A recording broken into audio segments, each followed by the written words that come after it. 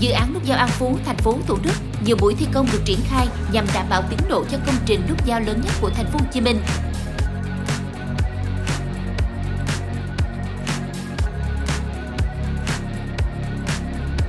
Đoạn hầm hở dẫn từ cao tốc Long Thành Dầu Dây xuống đường Mai Chí Thọ đã thành hình. Hàng ngày, mỗi công nhân phải hàng gắn hàng trăm khoanh thép hình tròn lắp thành trụ để đóng cọc nhồi đổ bê tông. Ban quản lý dự án đầu tư xây dựng các công trình giao thông chủ đầu tư cho biết, việc xây dựng dự án nút giao An Phú cơ bản trơn tru. Hiện nay, đơn vị thi công các gói thầu như hầm chui đường dẫn cao tốc, cầu Bà Già, cầu dòng ông Tố, cầu vượt các nhánh đang tăng tốc làm việc.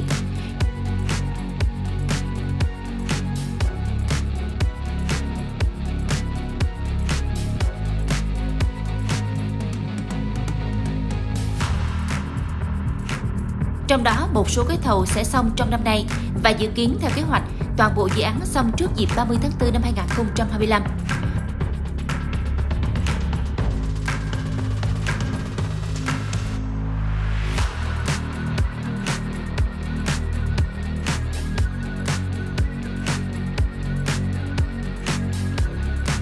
Khởi công cuối năm 2022, dự án nút giao An Phú tổng mức đầu tư hơn 3.400 tỷ đồng.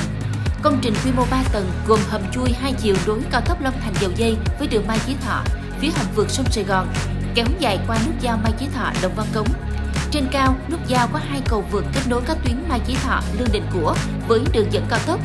Nút giao có phần đường từ 10 đến 12 làn xe, ba hầm chui 4 làn xe chạy hai chiều, các cầu vượt mỗi nhánh có hai làn xe, với tiến độ làm việc hiện tại, nhiều người dân thành phố hy vọng dự án xây dựng nút giao An Phú hoàn thành đúng kế hoạch trước dịp 30 tháng 4 năm 2025. Từ đó góp phần giảm ủng ứ giao thông ở khu vực này vốn đã xảy ra trong thời gian dài và giúp việc đi lại buôn bán giao thương thuận lợi hơn.